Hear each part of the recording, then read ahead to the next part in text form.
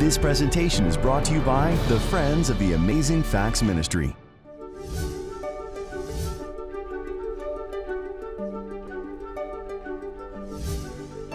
If you're a believer, that means you've made a decision you want to go to heaven. That means that your worldview, Jesus is the most important thing to you. Why in the world would you think about making the most important decision in your life about marrying somebody who does not make Jesus the center of their life? If I were to ask you, who in the Bible do you think of if I were to talk about the smartest person who has ever lived, who would that be? Solomon. If I was to ask you to tell me in the Bible who is the person that had the greatest patience in suffering, who would that be? Job. And if I were to say who in the Bible was the physically strongest, who would that be? Samson is the one people think of when they think of who is the physically strongest man who ever lived. And we're going to be talking in the next couple of presentations about Samson and what we can learn about uh, walking the Christian walk, about our Savior, and what other lessons the Lord might have for us in His Word from that. Uh, you'll find the story of Samson in the book of Judges. If you go to the book of Judges, chapter 13, Samson is the last of the judges mentioned. Now, some believe that uh, Samuel is among the judges, but you don't get to Samuel till you get to the book of Samuel. But in the book of Judges, Samson is the last judge that is mentioned. Uh, most scholars believe there were approximately 12 judges. And um, four chapters in the book of Judges are dedicated just to Samson. A very interesting character. And it even was foretold in the book of Genesis, when Jacob was blessing his sons, it told us that from the tribe of Dan, which is where Samson came from, it said, Dan will judge his people as one of the tribes of Israel. Matter of fact, the name Dan means judge, and uh, the name Daniel means Jehovah is my judge, or Elohim is my judge. And so Samson was from the tribe of Dan. Now, if you turn in your Bibles to the book of Judges, we're just going to read it. And um, I believe there's things that God wants to say to you today that I know nothing about. I believe that there's inherent power of the Word of God that as I read through this story, the Lord is going to speak to different people maybe in different ways because there's power in the Word of God to do that. Amen? Chapter 13, Judges, verse 1. Again, the children of Israel did evil in the sight of the Lord. There are about seven apostasies mentioned in the book of Judges. This is the seventh of them. And the Lord delivered them into the hand of the Philistines for 40 years. Now there was a certain man from Zorah of the family of the Danites, whose name was Manoah, and his wife was barren and had no children. And the angel of the Lord appeared to the woman and said unto her, Indeed, now you are barren, and you've borne no children, but you will conceive and bear a son. Now, therefore, please be careful not to drink wine or any similar, that means strong drink, and do not eat anything unclean, for behold, you will conceive and bear a son. And no razor shall come upon his head, for the child shall be a Nazarite to God from the womb and he will begin to deliver Israel out of the hand of the Philistines. You notice how often God raises someone up during times of great adversity.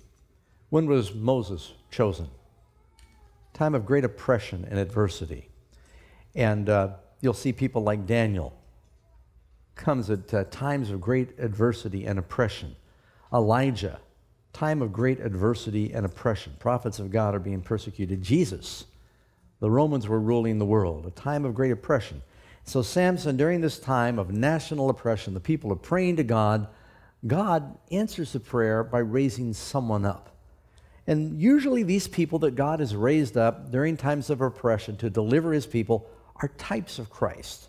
Flawed though they may be on the human side, you'll see things in there. For one thing, a promised son, a supernatural visitation of the angel that's given.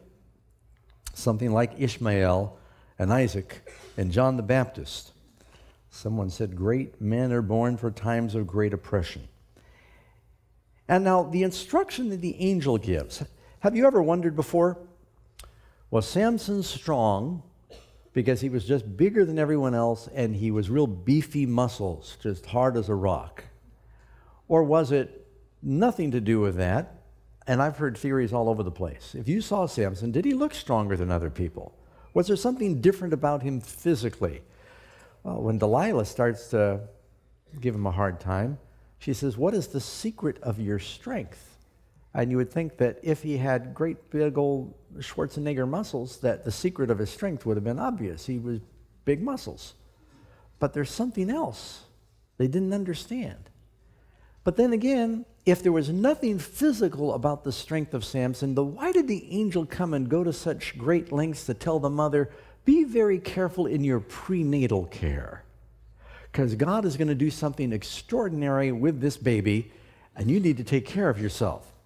So, what the angel said to the wife of Manoah is just for, not for the wife of Manoah, but every expecting mother and father need to realize their habits and health are reproduced in the children. And they got to be careful. They've learned now, you know, DNA is a very interesting science. And uh, they've discovered that your DNA is not the same from the time you're born to when you die. Your DNA changes through your life by your lifestyle, behavior, exposure, your diet, it will alter your DNA. Your DNA can actually be altered. And so, what you're doing affects your DNA that will then be reproduced in your children. Because we've heard before that sometimes a parent's habits can be inherited. Some things can actually be inherited tendencies.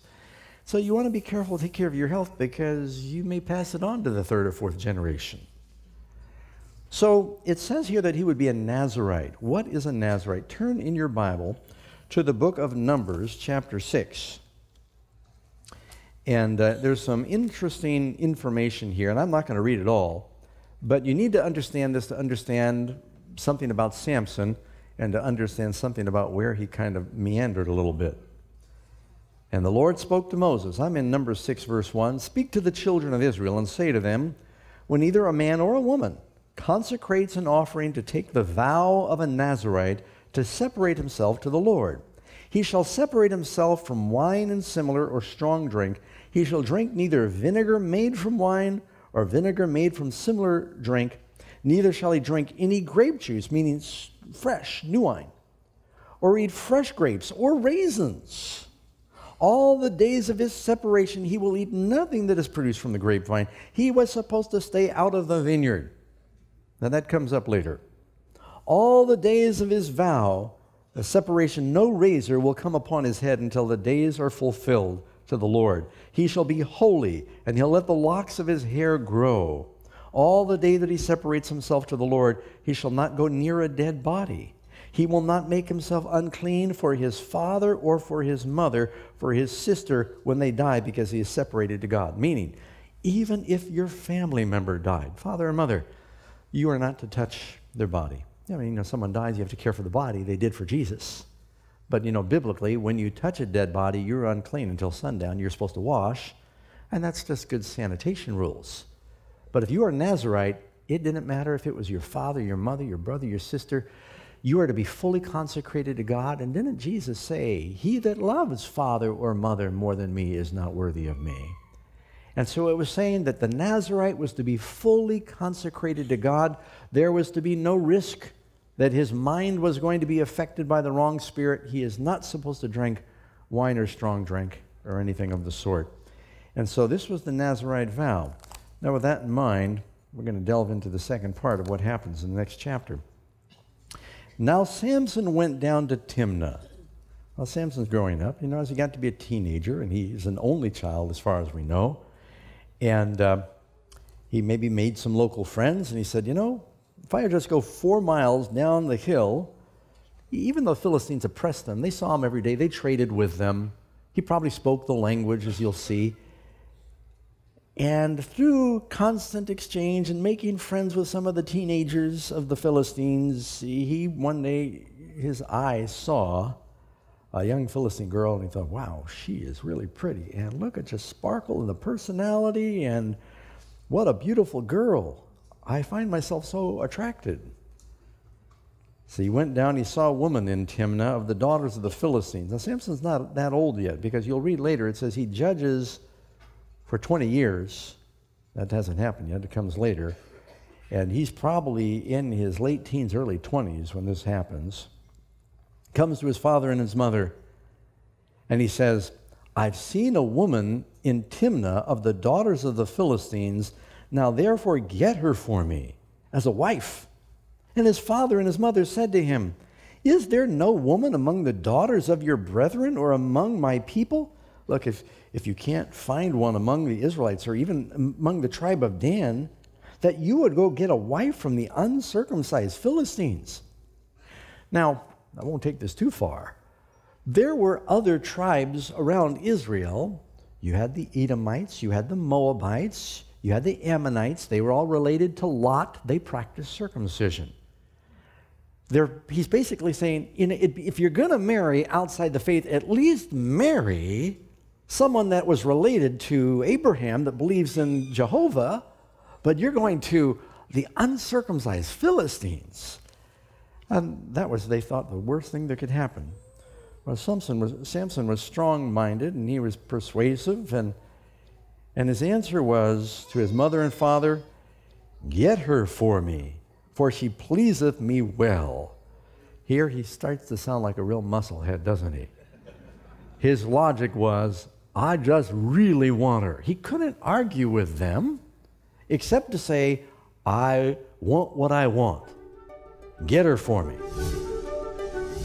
You don't want to miss this week's incredible free offer. Simply text your name and address to 0458 222 444 or visit amazingfacts.com.au to order online. For today's free offer, just text your name and address to 0458 222 444 or visit amazingfacts.com.au to order online.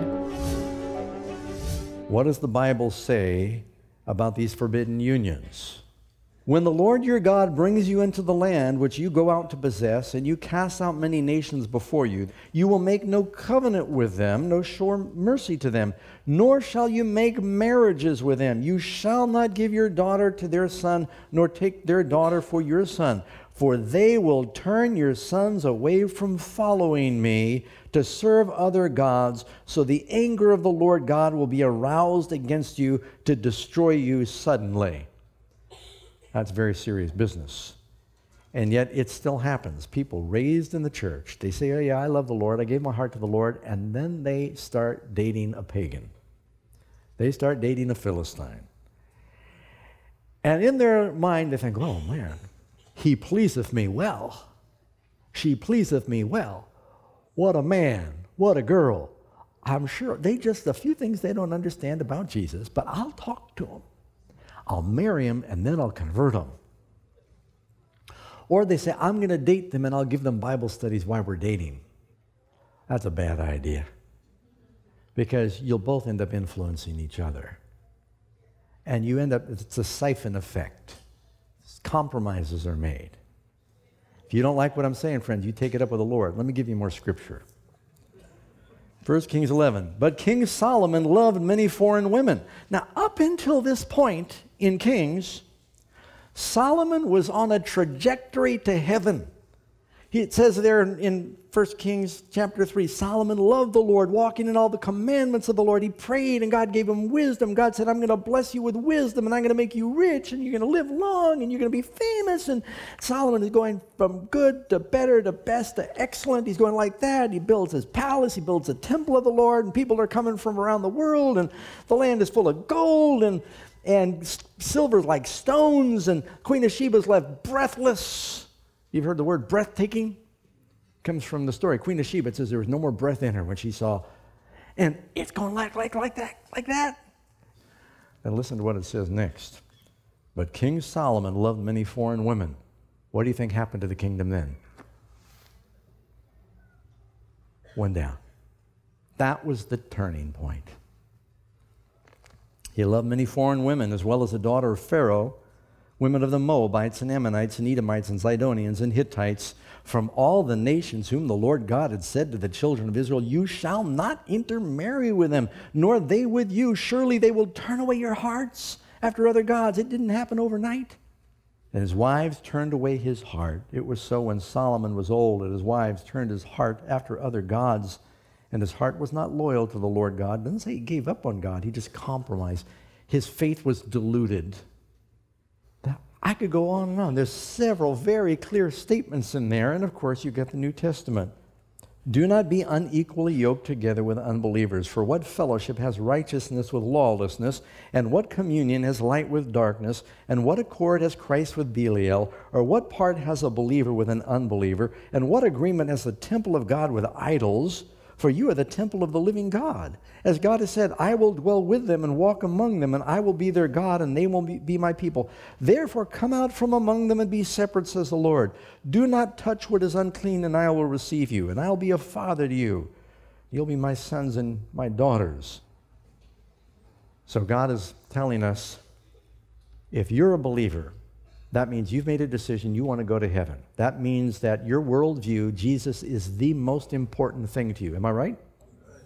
Why in the world would you think about making the most important decision in your life about marrying somebody who does not make Jesus the center of their life, who has not made that person a priority, and your children? Your priorities, you'll say, you know, let's, we're going to go to church. Sabbath's a holy day. And they say, no, it's not. It's a holiday for us. Saturdays, party day. Your home is divided. You're going to have a problem. You're going to want to pray. And they're going to say, no, we're going to go pay for some counseling. Or we're going to buy a book. And you're going to say, we're going to church. They say, no, we're going to the theater. We're going to church. We're going to the mall.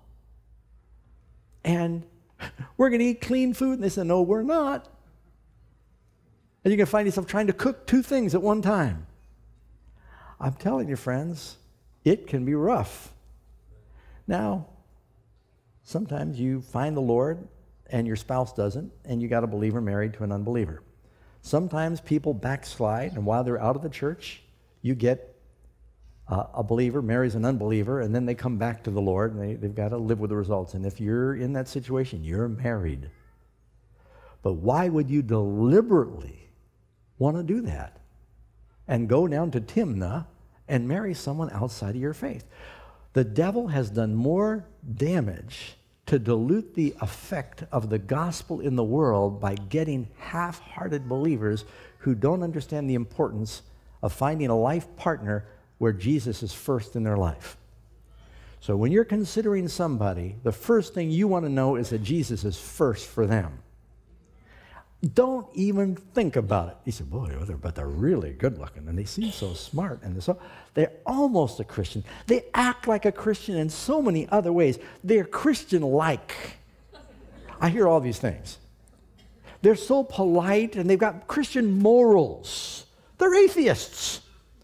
Oh, but they got Christian morals. They love humanity. And I hear all these bad arguments. Don't do it. Can I get an amen? amen. It's because what God says. And you know what? Samson got what he wanted. Be careful what you pray for, you might get it. And then it was nothing but trouble. This created a fork in the road for his life. Instead of marrying a girl from among his people, he married a Philistine, and his whole life got off course. And it started with this. You watch and see. God had a big plan. He had more opportunity than anybody in the Bible.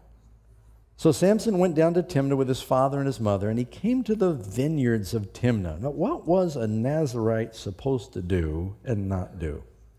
Don't have nothing to do with grapes. If you're not supposed to eat a raisin, if you're not supposed to eat a grape seed, if you're not supposed to drink any grape juice, don't walk through a vineyard. Is that a good idea? If you're an alcoholic, don't get your apple juice at the liquor store. Right?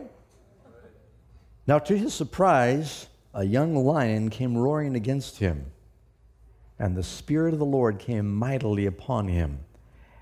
And he tore the lion apart as one would have torn apart a young goat. And he went down, he talked with a woman, and she pleased Samson well.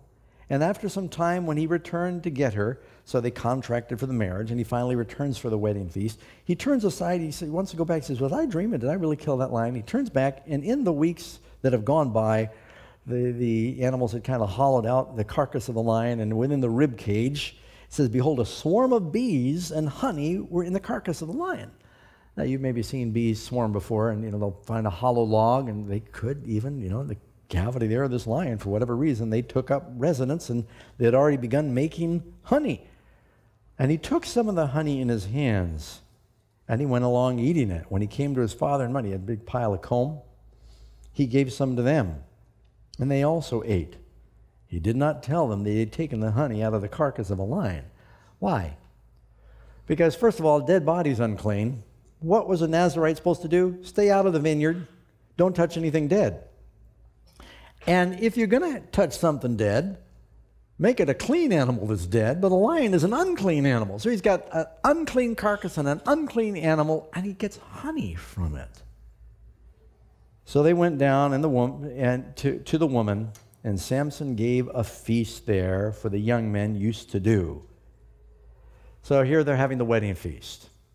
And the word feast there is wine banquet. Uh, you see what's happening now?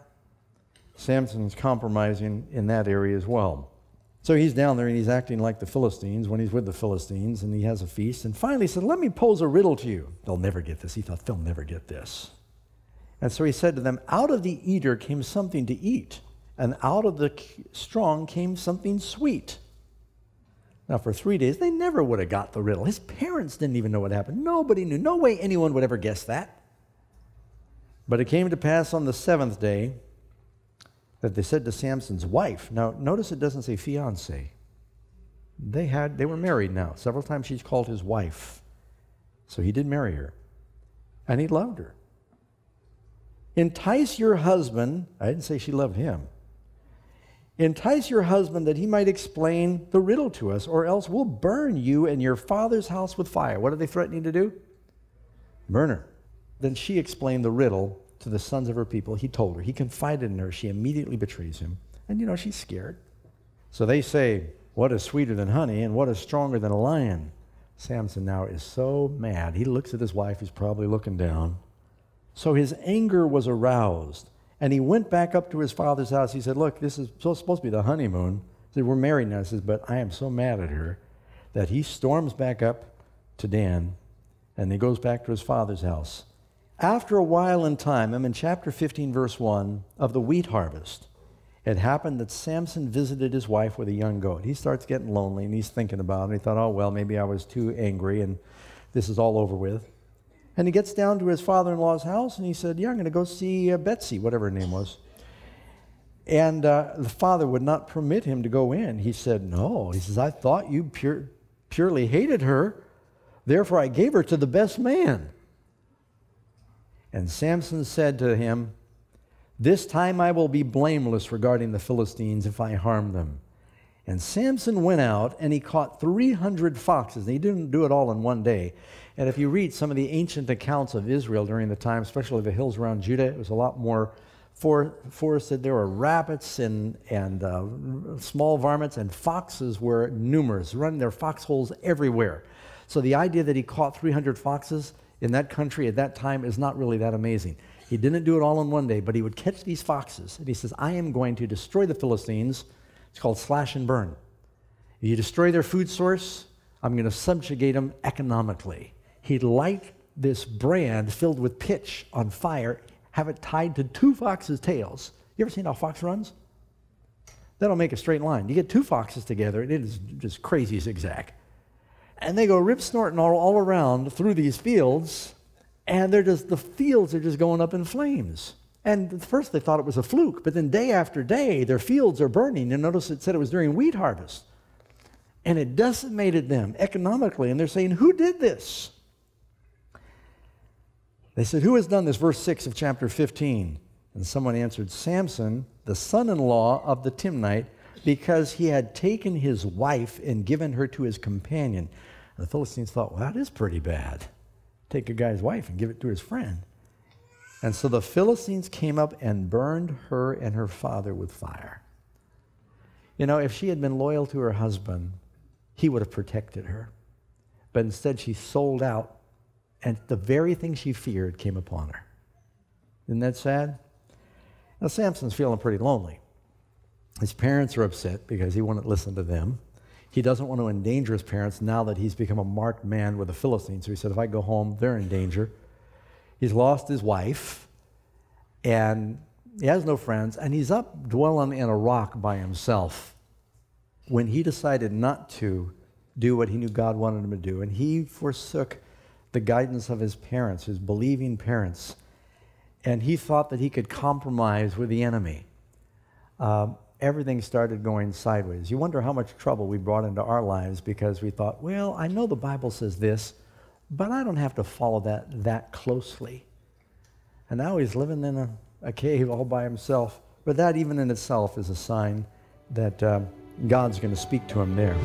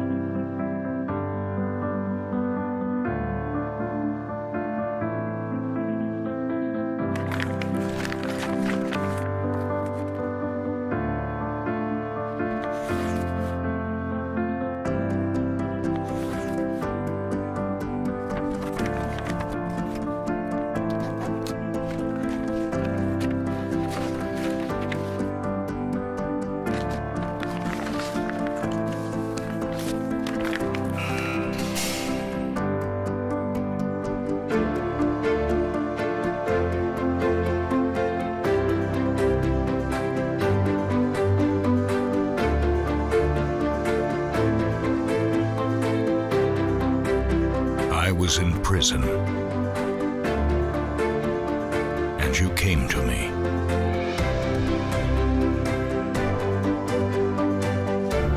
Assuredly, I say to you, inasmuch as you did it to one of the least of these, my brethren, you did it to me.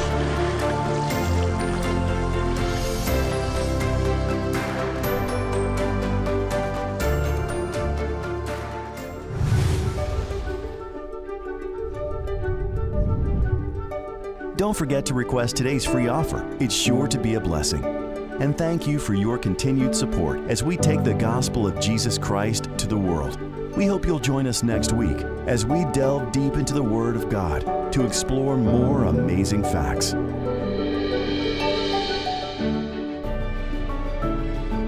This presentation was brought to you by the Friends of the Amazing Facts Ministry.